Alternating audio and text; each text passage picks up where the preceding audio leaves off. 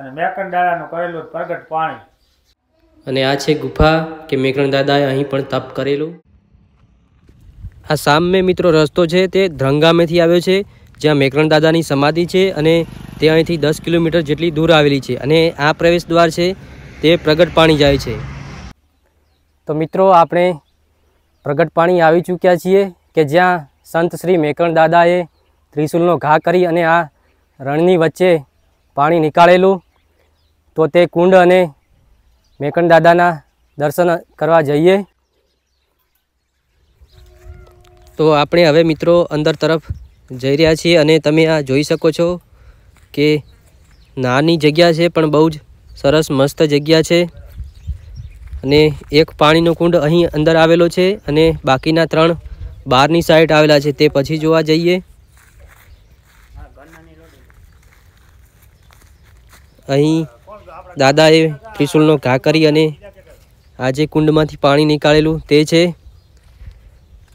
અને અહીં મેકરણ દાદાનો અહીં પણ ધૂણો છે તો તેના પણ દર્શન કરી લઈએ.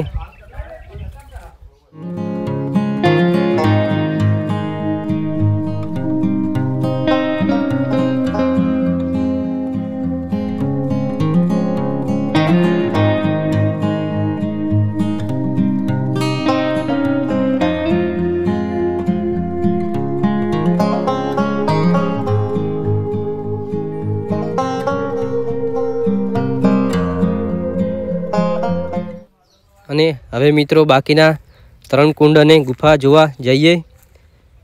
અને અહીં સરસ એવી ભોજનશાળાની પણ વ્યવસ્થા છે કે જેની અંદર સામાન બધો હોય છે અને અહીં આવતા જે ભક્તો છે તેમણે જાતે પોતાનું ભોજન બનાવી અને જમી શકે છે. અને આ બાજુ સંત નિવાસ છે અને આગળ અહીં આ શેડની પણ વ્યવસ્થા છે. અને સામે જે દેખાઈ રહ્યા છે તે મેકરણ દાદાએ પાણી નીકાળેલું તે આ કુંડ છે. અને આપણે કુંડની અંદર જોઈએ કે હાલમાં અહીં આમાં પાણી દેખાતું નથી, પણ જે પ્રથમ જે કુંડ જોયો હતો તેમાં એકમાં જ હાલમાં પાણી છે.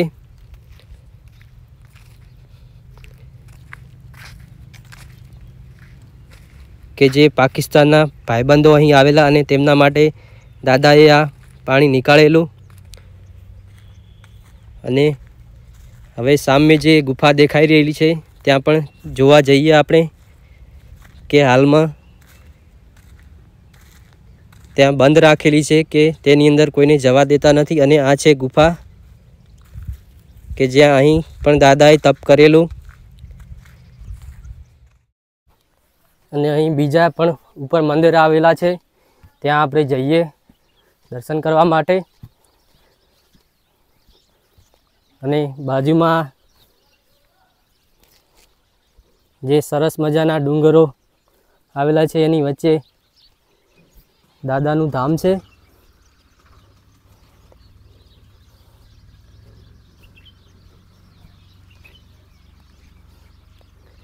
અહીં પણ મેકરણ દાદાનું મંદિર છે. તમે પણ એ દર્શન કરીએ હવે.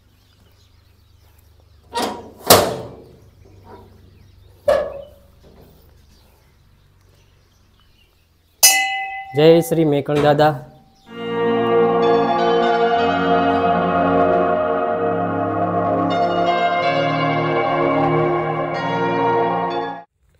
અને હવે અહીં આ બાજુમાં જે નાના મંદિરો દેખાય છે, ત્યાં પણ જઈએ કે જેની અંદર લાલીઓ અને મોતિયા કૂતરાની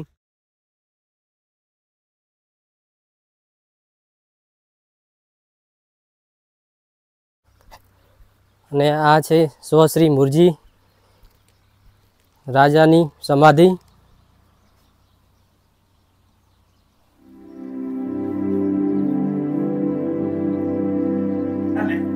જીના જીના દાડો હિંગરાજ જાતા હે, જોક ગામમાં નમાજ પઢાતી હતી.